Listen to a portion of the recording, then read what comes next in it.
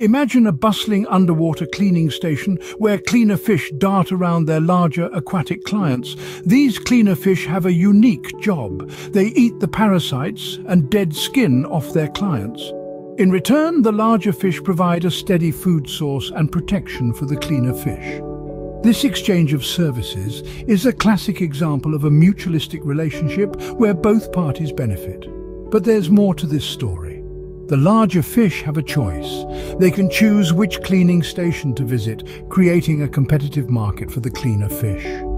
This is biological market theory in action, where supply and demand, competition and partner choice play out in the depths of the ocean. Now, let's shift our gaze from the underwater world to a vibrant garden buzzing with bees. These industrious insects aren't just collecting nectar for honey.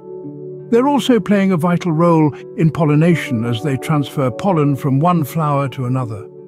In this biological market, the flowers are the clients, offering nectar as payment while the bees act as service providers. Yet it's not a simple transaction. Flowers compete for the bees' attention with brighter colours, sweeter nectar and more enticing scents. The bees in turn have the freedom to choose which flowers to visit, further driving the competitive nature of this biological market. Our exploration continues with the curious partnership between ants and aphids.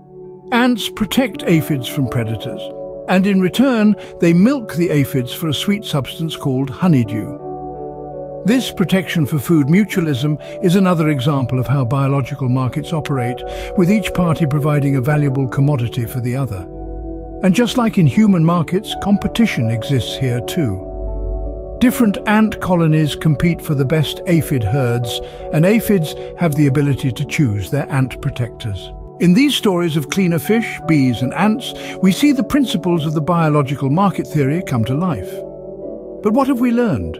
First, nature is full of mutualistic relationships where organisms exchange commodities for mutual benefit. Second, these biological markets are governed by the same principles as human economic markets, supply and demand, competition and partner choice.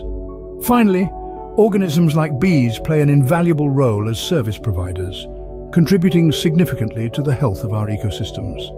So the next time you see a bee buzzing from flower to flower or watch a nature documentary about cleaner fish, remember that these interactions are more than just fascinating spectacles. They are examples of the biological market theory at work, showcasing how the natural world has its own version of economics. And just like in our human markets, these biological exchanges are vital for maintaining balance and promoting survival.